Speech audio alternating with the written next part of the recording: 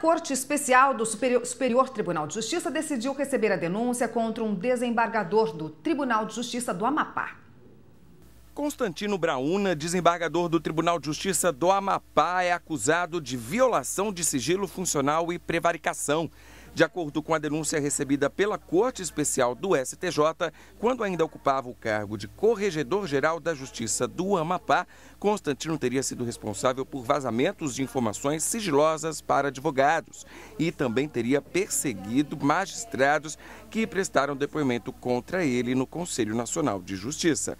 No STJ, a defesa do desembargador alegou que ele é vítima de perseguição política, mas o relator, ministro Luiz Felipe Salomão, relatou que houve provas dos crimes e, por isso, a denúncia deveria ser recebida. A Corte Especial decidiu ainda que Constantino Brauna ficará afastado do cargo.